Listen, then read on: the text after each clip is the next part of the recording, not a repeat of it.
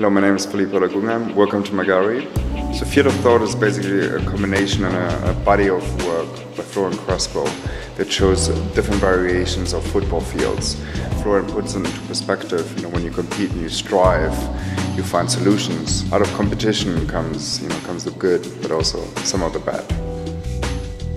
In this room, we're actually asking a question, what is your challenge, right? So challenge goes back to what drives you, what strives you, and, you know, and everything else.